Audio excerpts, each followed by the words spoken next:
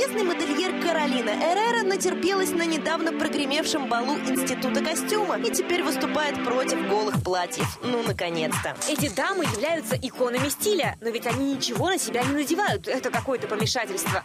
Излишне откровенные образы Бейонсе и Дженнифер Лопес на балу огорчили не только вас, Каролина, но и всех женщин в принципе. Зато мальчикам, наверное, очень понравилось.